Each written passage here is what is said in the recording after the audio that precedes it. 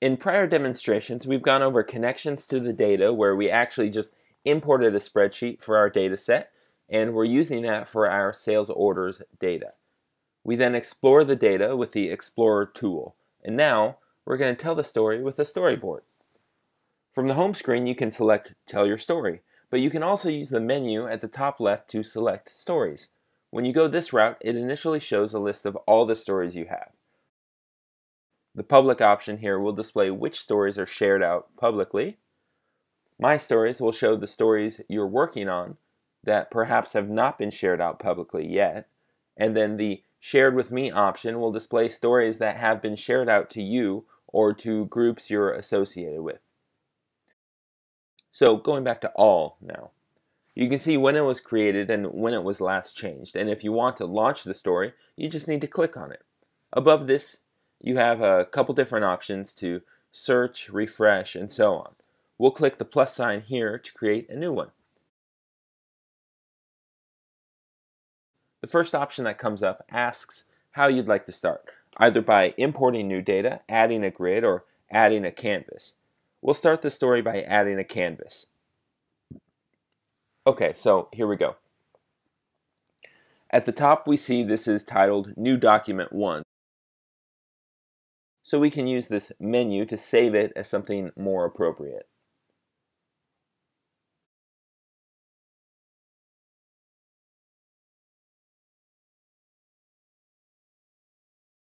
Now to add an object to the canvas, we can add charts, geomap, a table, and so on. We'll start with an image, so we can choose to upload an image here. We have a lot of other options across this top toolbar that you can look into at another time. We'll go right to Insert, Charts, Tables, Input Controls, and all these other options, but we'll choose to insert a chart. We'll choose an existing model and then select that sales orders data. Initially, the chart won't show up with anything, so we go over to the Builder panel where we can change the chart structure and some other things. We need to add measures, so we'll do that, starting with current year net value and then prior year net value.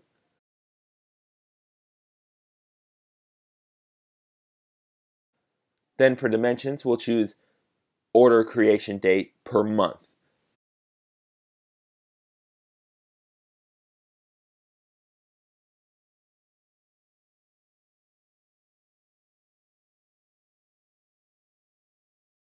Now you can see our months broken out, showing current year and prior year. Now we can also see this doesn't really make sense to show in this way, so we'll go back to the builder and change the chart structure to show trends. Now, that's a bit better, but this is still kind of crazy because we're not seeing months in a rational order, so I'll adjust that later on. If you look back at the builder, you have many other options scrolling down with filters, variances, reference lines. For right now, we'll leave all that as it is.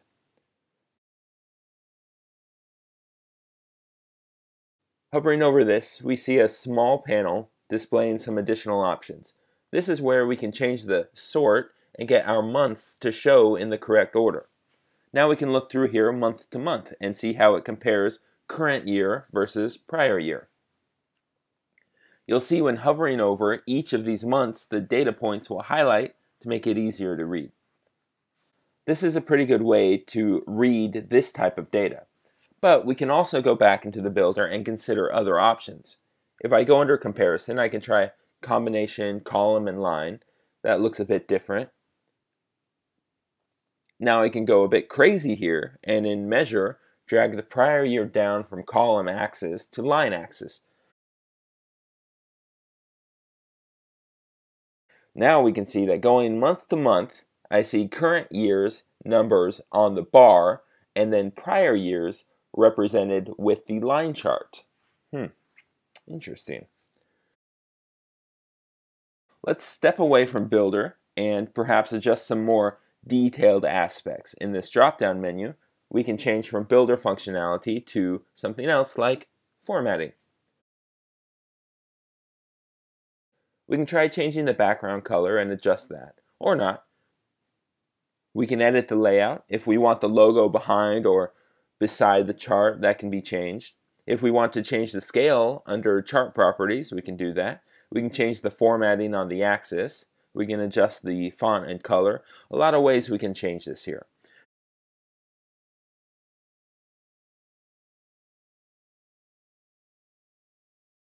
Alright, now let's create an additional data model. We can choose the menu in the top left, choose Modeler and Models, and then within this screen we can click the plus sign to add another model. Select Import from File.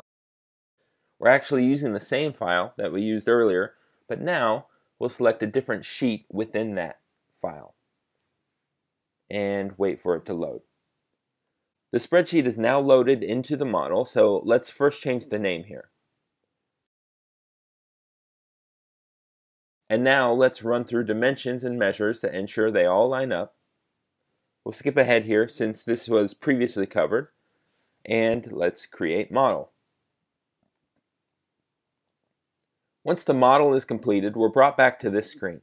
We can set the aggregation type to measure sum for each, and for units and currencies, we'll update a couple of these here, and then save the model.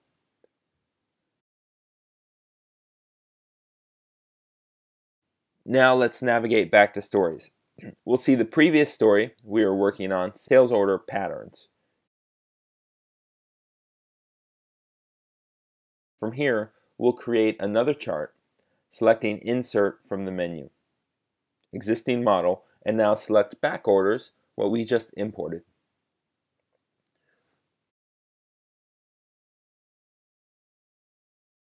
For this new chart, we're not as concerned with trending numbers, so we can set this as a bar chart. Then, under Measures, we'll select Backorder Value.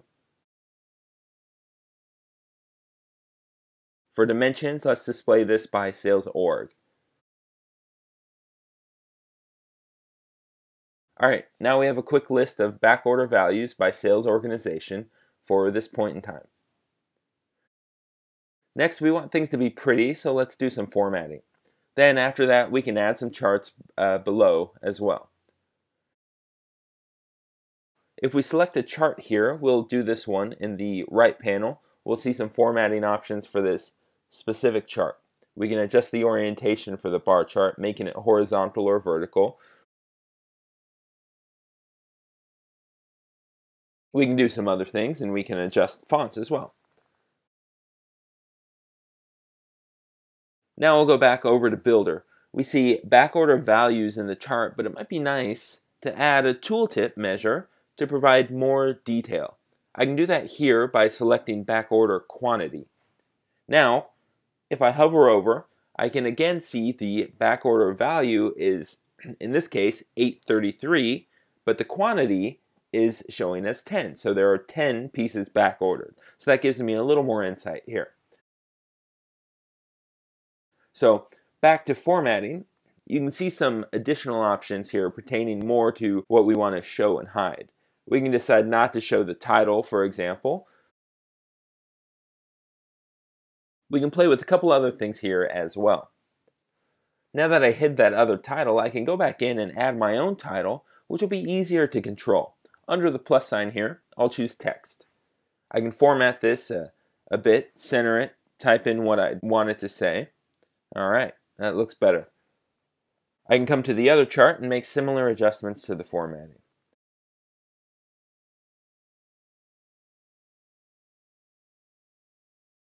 So now we're looking at a prettier version here. We have one storyboard that shows data from two different sources.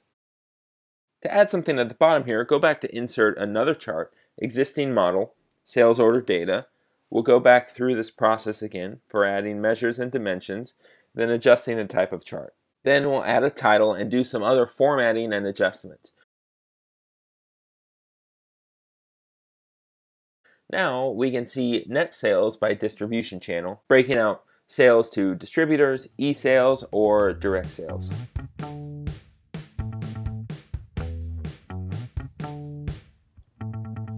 Now, let's say we want to look at net sales in a couple different ways. We don't need to reinvent the wheel and go through the whole insert process over again. We can pretty easily here choose to duplicate this existing chart for net sales by distribution channel and then change the dimension.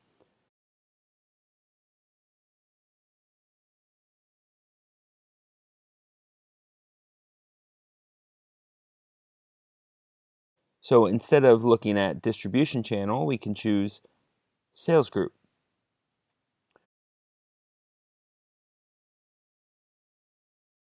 We can then copy the other title and update to show net sales by sales group.